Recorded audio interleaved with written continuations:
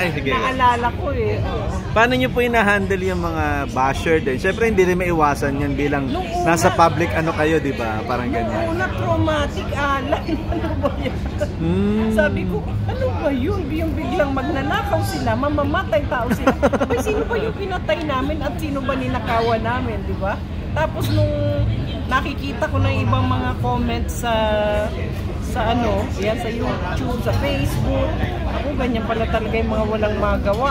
Eh, medyo, ano na ako, Na-trauma na kayo. ako. Talagang, pag walang magawa ang tao, kung ano-ano ang gagawin eh, di ba? Eh, abala naman tayo. So, hindi na masyadong napapansin. Eh, marami na bang dumating? Marami na kayo. Hindi, okay lang, madam. Tapos, ah, ano na lang po yung aabangan ngayon na, na True FM na yung, ano, yung Radio Oo. 5 ngayon. Sa True FM, magiging regular na na magaganda ang mga mapapakinggan ng mga tao sa Radyo City. Mm. At ano na, actual na yung pagpapayo. No? mm Ay, sa hiling-galing yon Live naman kami na napapakinggan sa Radyo City. Pati sa ano sa TV, ano na rin, simultaneous siya ma'am. Walang hindi Ah, naka-simulcast sa television. Ah, yung katulad noon na naka-simulcast sa 1PH. Yun ang iniwan ko nung bago kami nawala. Talent ako noon, iba ang nag-handle noon si Luchi. Ah. Si Luchi Cruz Valdez. Parang iba na ang nagmamanage niya sa Radyo 5. Kaya hindi na naka-simulcast sa, Sa. So radyo-radyo lang. Tapos yung 1PH, 1PH. Sino po yung mga kasama niyo, ma'am, dito? Ayan, si Dr. Love. Kayo po yung tandem. Hindi kami, Hindi. ang, ang panggabi to si Dr. Love at saka ano siya, Monday to Friday ang programa niya. Mm. Oh, si ah, so solo po? Solo po kayo? Solo. Solo lang ako. Mm-mm, mm-mm. Tsaka, Hindi po ba kayo nahihirapan sa gano'n? Na parang, parang siyempre, di ba, parang... Kailangan mo kayanin at kailangan mo masanay alam. What keeps you ano, going ma'am Edina? Oh, tagal nyo na rin ma'am sa industry. keeps you Di going? ba? 62 na. Yung tinatanggap pa rin kami ng publiko, hinahanap pa rin ang hiling galing products, pinupuntahan pa rin kami ng mga tao at marami pa rin napapagaling. Nagdagdag na nga kami, may acupuncture clinic na. Wow. Ang dami hindi makatulog, hindi madala sa hilot ng healing oil. Pag in-acupuncture, parang single session lang maganda na ang tulog nila eh. Mm. Kaya in-introduce namin ang acupuncture. Saan po nakakabili ng mga medicines na mga products? May iba-iba, may website kami, tapos nandun ang listahan ng, ng mga outlets. Eh dito meron din, may free consultation, may gym kayo dito. Ah, wow. May mga pre-medicine din ba sila dyan? Ano lang, bag. Hindi kayo namigay ng oil. Hindi pa. Namigay kami sa ano. May kasama ba doon sa ano namin? Sa- Meron ba dun sa, sa ano namin, ma'am? doon Sa ano? Ganito, napadala ko na lang kay Kleng? Hindi ma'am, ito pong ano, ah, tawag dito sa pagbabalik niyo po dito sa radio saka sa, t- sa, sa television. Kumbaga, mas marami pang expect na mapapagaling ang hiling-galing. Oo, hindi kasi natatapos ang pagkakaroon ng karamdaman.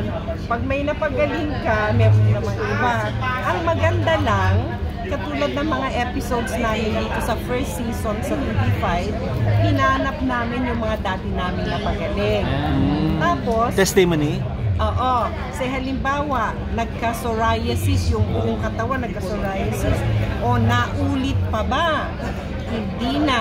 After 5 years, hindi na bumalik ang psoriasis. May kasi- before and after ma'am. Oo.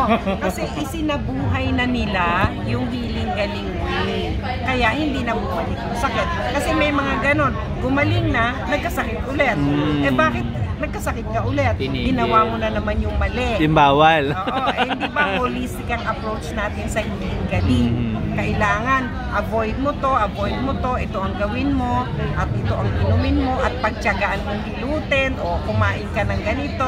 Yun ang holistic approach natin. Kung hindi kayang sundin, kung tayo nagkakaproblema, sasabihin, paborito ko kasi yan eh, o kaya minsan lang naman. Minsan yung bawal kasi yun ang gusto ng tao, Oo. di ba?